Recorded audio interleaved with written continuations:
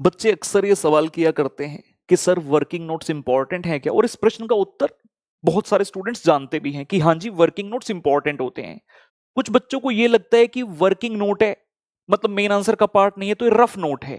तो इसे हम रफ वर्क कितना कर सकते हैं। ये एटीट्यूड बहुत गलत है। Working note is the part of main answer itself it is a supporting to our main answer तो हम इसको हल्के में नहीं ले सकते।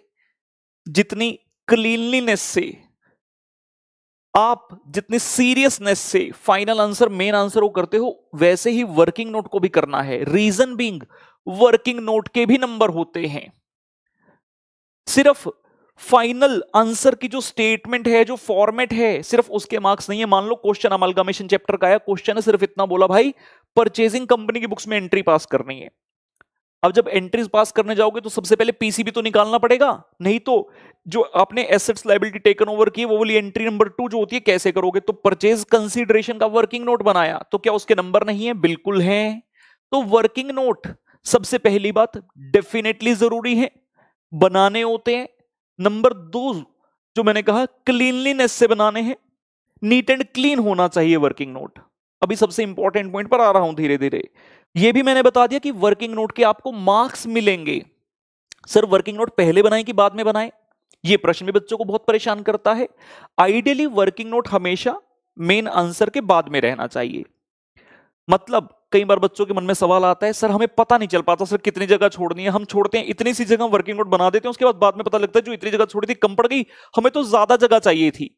तो यार, आपने एग्जामिनेशन फ़ीस नहीं भरी क्या? पैसे भरे हैं ना? उसमें शीट की कॉस्ट भी है, कंजूसी नहीं करने का। अगर लग रहा है इतनी जगह छोड़नी है तो इसका डबल छोड़ दो, कोई इशू नहीं है। जगह ज़्यादा पड़ जाए, दिक्कत नहीं, कम नहीं पड़नी चाहिए। कम पड़ गई, फिर दिक्कत है। फिर पेपर गंदा मंदा हो जाएगा। सारे किए किराए पर पानी फिर जाएगा, चाहे प्रश्न आता भी हो, लेकिन जो आपने वहाँ पे गंद फैला दिया क्लीनलीनेस नहीं रख पाए, उस वजह से नंबर कट जाएँगे।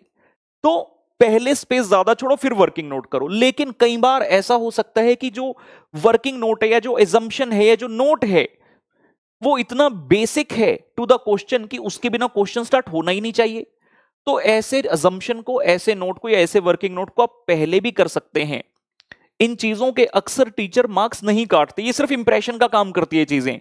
और जब आपका पेपर चेक होता है इंप्रेशन बहुत ज़रूरी है टीचर के ऊपर जमाना, क्योंकि हमें वो पेपर अपना चेक करवाना है और चेक करवाने के साथ साथ बहुत अच्छे मार्क्स भी लेने हैं।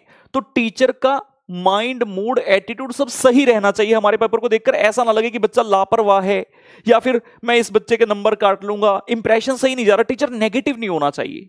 The teacher should remain positive while checking our answer sheet बच्चों ने मेरी सारी बातें सुन ली एग्ज़ाम हॉल में चले गए और एक क्वेश्चन था, मान लो बड़ा क्वेश्चन उसके पाँच छह वर्किंग नोट थे, सारे बना दिए और खुश हो रहे हैं। सर ने कहा था, वर्किंग नोट बनाने मैंने वर्किंग नोट बना दिए बेटा वर्किंग नोट की सबसे स्पेशल चीज़ नहीं आपने की।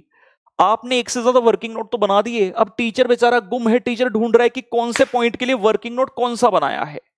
क्योंकि आपने वर्किंग नोट की टैगिंग नहीं की। सर, ये क्या होता है? बताते हैं। वर्किंग नोट की टैगिंग ये सारी चीज़ें जो मैं शेयर कर रहा हूँ आपके साथ, ये एज अ स्टूडेंट मैं करता था।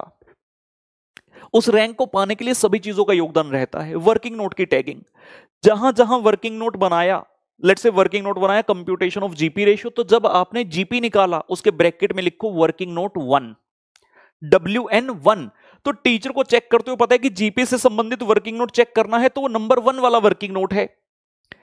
मान लो आपने डेप्रिसिएशन का वर्किंग नोट बनाया नंबर टू तो जहाँ आपने आंसर में डेप्रिसिएशन का अमाउंट लिखे, उसके ब्रैकेट में लिखे डब्ल्यू एन टू मतलब वर्किंग नोट नंबर टू के लिए टीचर डेप्रिसिएशन पर जाएगा। वर्किंग नोट अगर एक से ज़्यादा है definitely you need to tag कि कौन सा वर्किंग नोट किस चीज़ के लिए बना है। So working notes always remain a very very important part don't do it like rough और कई बार ये भी सवाल आता है कि सर कितने वर्किंग नोट बनाए? मैक्सिमम जितनी चीज़ों के लिए आपको लग रहा है वर्किंग नोट बनना चाहिए, बनाओ। कई बार हमें लगता है कि यार कैलकुलेटर दिया है कैलकुलेटर पर ही फिगर कर दें। और वर्किंग नोट ना बनाए। तो बेटा कैलकुलेटर पर तो कई बार पूरा पूरा क्वेश्चन भी हो सकता है। लिखने की आवश्यकता ही क्या है? लेकिन हमें पता है कि हमारा सिर्फ़ वो आंसर शीट ही है जो कि फ्लो कर रहा है टिल द एग्जामिनर हम तो खुद नहीं जा रहे तो जो भी हमारे मन में हमें उसको एक्सप्रेस करना होगा। तो जिस भी चीज़ के लिए लगता है वर्किंग नोट बनना चाहिए, उसके लिए बना दो। मतलब कंप्यूटेशन अगर इन्वॉल्व है, लगता है, ठीक है ना? तो वर्किंग नोट डेफिनेटली बनाकर आइए। और साफ़ साफ़ सही सही तरीके से कीजिए और टैगिंग भी उसकी करके आनी है। That's all.